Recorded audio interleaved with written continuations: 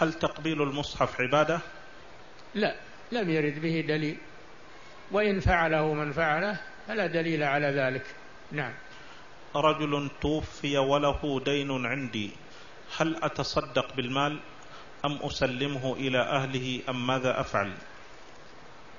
رجل توفي وله دين عندي هل أتصدق بالمال؟ أم أسلمه إلى أهله؟ تسلمه للورثة.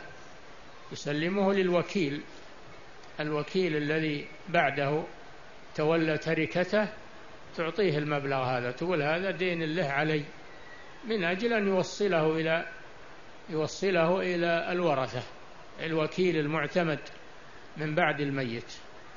نعم.